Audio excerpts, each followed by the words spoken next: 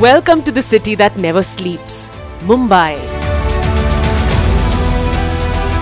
According to the TomTom Index of Traffic Congestion, Mumbai stood second with traffic congestion in 2020 at 53%. The Mumbai Trans Harbour Link, owned by the MMRDA, will help alleviate traffic congestion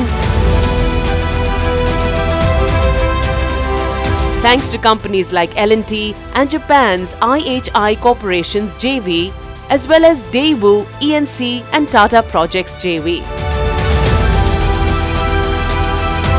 MTHL is a landmark project.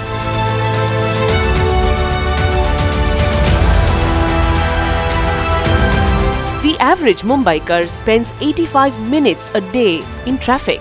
This link will help reduce the common man's travel time from Mumbai to Navi Mumbai to a 15 to 20 minute journey using revolutionary technology. This project itself is an innovation, an engineering marvel.